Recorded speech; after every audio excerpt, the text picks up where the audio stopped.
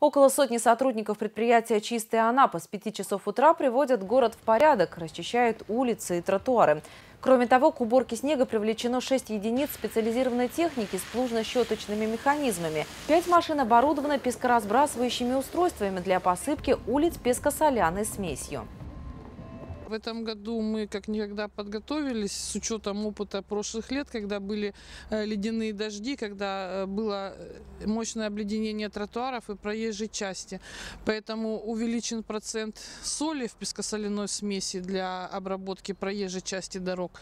Для дворников мы приобрели жидкий реагент бишофит, который будем обрабатывать, поливать наледи на тротуарах.